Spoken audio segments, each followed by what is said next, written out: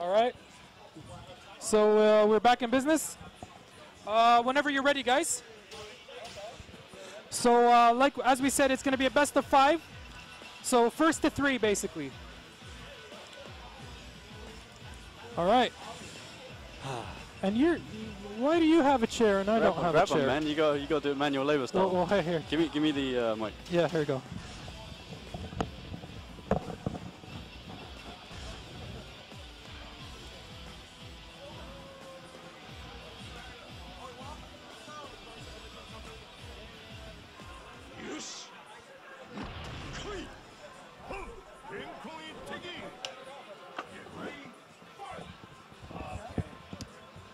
All right, so we have Brad Wong versus Akira.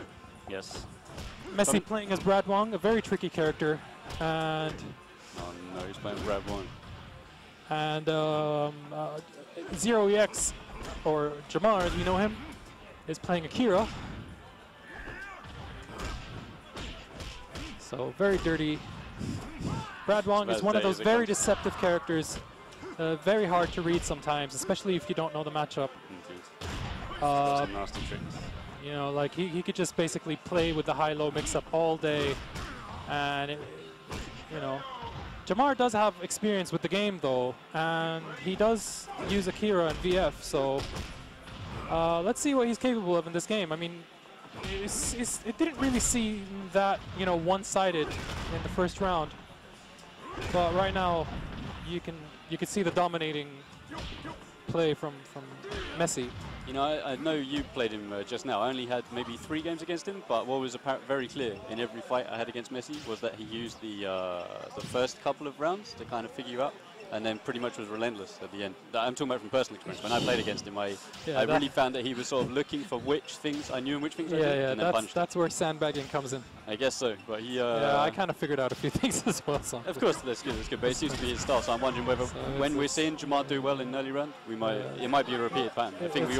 I don't think we'll see Messy lose many final rounds. Basically, he does seem to be. Uh, He's he, he's he's very Messy's very good at adapting. I Yeah. mean, he's uh, he's well known for game. it. Yeah. I mean, he's probably the premier player here. I guess him and He's Grundy are probably- the only two known players. him and Grunt are probably the favorite to win. of course. But yeah. let's not count out everyone else. I mean, uh, a lot of people, a lot of people have been practicing hard. yes, that's true. You know, then there's me. There's Hughes probably third, I would guess. Uh, we'll see. And then uh, We'll see how. I have no idea how good Goman is.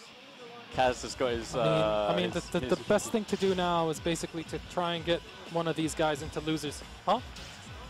The score is 1-0 to Messy. Okay.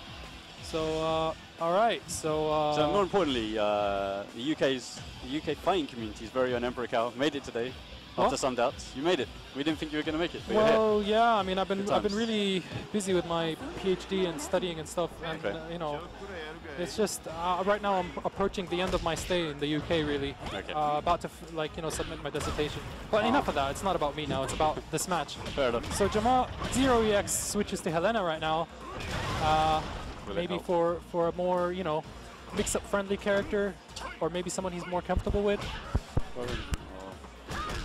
Yeah. Seems um, So seems yeah, players aren't really used to the breakable uh, structures yet. yeah, You they're not really extra combos off them, capitalizing on the on the actual environmental damage, Yeah. which is uh, quite a shame really, because You can double a the lot of your combo with those. not things. only that, huge. it's actually guaranteed. Yeah, So most yeah. most of the environmental damage is actually guaranteed damage. Yeah, absolutely. You get a free launch whenever you hit them into one of those breakable structures. So like yeah, oh, we'll so you got a limbo stun there from Brad Wong's kicks, uh, which is quite interesting. Yeah, I guess that causes limbo when he uh, sets it up. All right, now the, the Helena mix-up. Now Helena is just really, really disgusting. Once she, once she has that one, you know, attack in, it's really hard to read what's coming next from her.